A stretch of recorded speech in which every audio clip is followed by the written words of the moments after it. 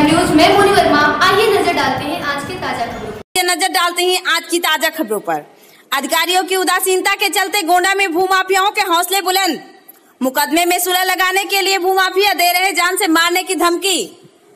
गोंडा जनपद में नहीं रुक रहा भूमाफियाओं द्वारा फर्जीवाड़े का खेल।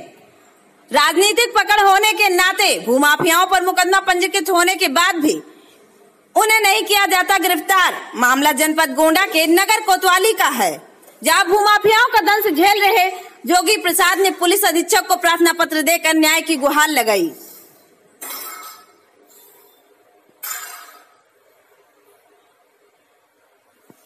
शिकायती पत्र में जोगी प्रसाद ने दर्शाया कि गाटा संख्या 21 रकबा ज़ीरो चार सौ पच्चीस है।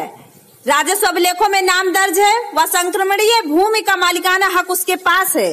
पीड़ित ने बताया कि विपक्षी राजदार पुत्र खालिद निवासी अलीगंज लखनऊ ने विभागीय मिली भगत व फर्जीवाड़ा कर उसकी ज़मीन को किसी दूसरे के व्यक्ति के हाथ बेच दिया। वर्ष उन्नीस सौ अस्सी में उक्त ज़मीन का संपूर्ण हिस्सा फर्जी अभिलेख बनाकर बैनामा करा लिया। भूमि स्वामी, जोगी प्रसाद को जिसकी भनक तक नहीं लगी, जिसके बाद आरोपी राजदार अहमद ने दिनांक 11 चार 2018 को उक्त ज़मीन को विभागीय साठगांठ करते हुए आपराधिक प्रवृत्ति के व्यक्ति वारिस अली पुत्र अली अहमद निवासी जमदारा थाना कोतवाली देहात व राहत अली पुत्र मुसीबत अली निवासी नई बस्ती मोहल्ला महाराजगंज कोतवाली नगर।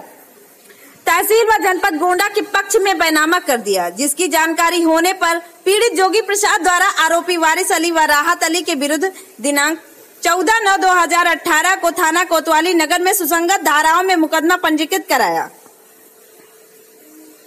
विवेचना के दौरान आरोप सत्य पाए जाने पर आरोपियों के विरुद्ध न्यायालय में चार्जशीट दाखिल कर दी गई। आरोप पत्र प्रेषित होने के बाद आरोपी वारिस अली ने दिनांक इकतीस बारह 2019 को उक्त ज़मीन का बैनामा, आकाश अग्रवाल उर्फ़ राजा पुत्र अशोक अग्रवाल, निवासी मोहल्ला दयानंद गोंडा व कृष्ण चंद पुत्र विद्याधर पांडे, निवासी मोहल्ला पंत नगर कोतवाली नगर, जनपद गोंडा के पक्ष में। इकतालीस हेक्टेयर ज़मीन बैनामा कर दिया तथा आरोपी राहत अली ने तीन तीन 2020 को अशोक कुमार पुत्र जगन्नाथ शुक्ला निवासी मस्कनवा मनकापुर व संजय कुमार पुत्र गौरी शंकर गुप्ता निवासी जानकी नगर गोंडा के पक्ष में धोखाधड़ी करते हुए बैनामा कर दिया। पीड़ित ने बताया कि ज़मीन होते हुए भी भूमाफियाओं ने उसे भूमिहीन कर दिया और निरंतर आरोपियों द्वारा मुकदमे में सुलह लगाने की धमकी मिल रही है। पीड़ित के मुताबिक आरोपी उसके जान के दुश्मन बने बैठे हैं। वह किसी भी समय उसका अहित कर सकते हैं। पुलिस अधीक्षक को प्रार्थना पत्र देकर पीड़ित ने अपने जान व माल की सुरक्षा की गुहार लगाई। नाम है आपका? शोभापति अच्छा गाँव कौन सा है? गाँव है मुर्गाहवा मौजा? लक्ष्मणपुर।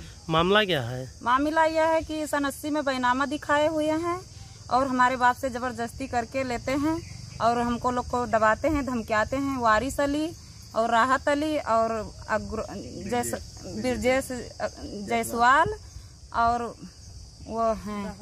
राहत अली। और दबाते हैं धमकियाते हैं और कहते हैं कि का नाम है यहाँ छोड़ दो यहाँ कब्जा जोन है और नहीं तो पेट्रोल डाल के तुमको लोग को फूंक देंगे। और हम लोग ज़बरदस्ती कर रहे हैं हम लोग छोड़ नहीं रहे हैं। और हमारा ज़मीन हमारा ज़मीन है बाप दादे के ज़मीन है। और हमारा बाप भी है जो वो अंगूठा नहीं वो अंगूठा लगाता है दस्खत भी नहीं कर रहा है। और वो वो फर्जी कराए हैं तो दस्खत भी करे हैं उसमें। और कहते हैं कि लेकिन हम लोग छोड़ेंगे नहीं चाहे मर जाएँगे उसी में।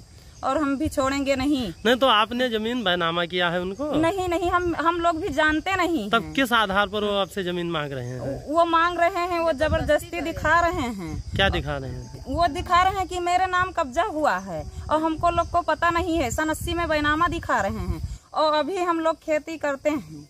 अभी हम लोग खेती करते हैं बोते जोतते हैं। और ये हमारा बाप है हम उसका बिटिया तो आप थाने पे नहीं गए? थाने पे नहीं गए पुलिस आ रहे हैं लेकिन पुलिस भी देख के चले जाते हैं। कुछ बोलते नहीं कुछ बोलते नहीं देखते हैं सच्चाई है तो क्या करें। देखते हैं कि हाँ इन लोग को कब्जा है।